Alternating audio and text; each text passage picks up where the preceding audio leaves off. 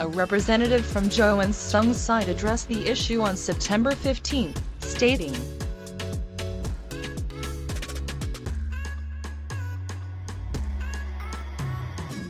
Jo Insung's side immediately refuted the rumor, emphasizing that the two didn't even have any special relationship, encounters, or any form of connection.